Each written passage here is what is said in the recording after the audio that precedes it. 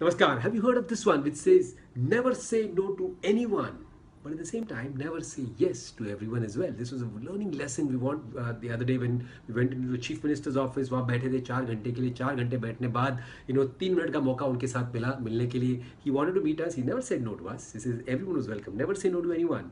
So at the same time, you know when we when he spent only this much time with us you know, two, three, teen sentence, do bar mundi hai, matter closed. Move on. He's going to get back to us. The point is, why am I saying this? You know, although we were given time, we were only given the kind of time that we deserve to get according to his agenda.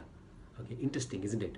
And I think let's look at it like that in business because how often uh, I've seen a lot of people, a lot of successful people that I know that spend so much time with everyone that comes to meet because everyone else has an agenda and this person or that person sitting on this side uh, might or might not have an agenda but he just wants to hear everyone out you know? Is it right? I don't know. I don't know. I don't i think it's a pure waste of time according to me. The point is yes give him time give her time but give only so much that is really needed to get you the roi that you want out of it.